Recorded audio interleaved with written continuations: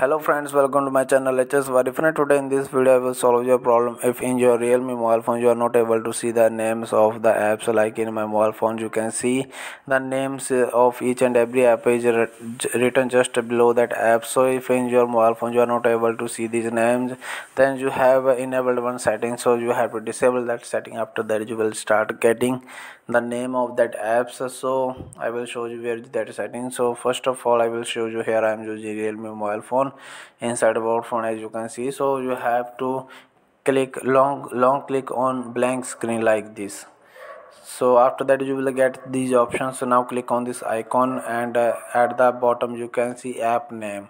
So you have by mistake the hide the app names from here.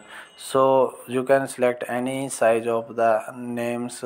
So hope friend this video is helpful for you. If this is helpful don't forget to subscribe my channel. Thanks for watching. Bye bye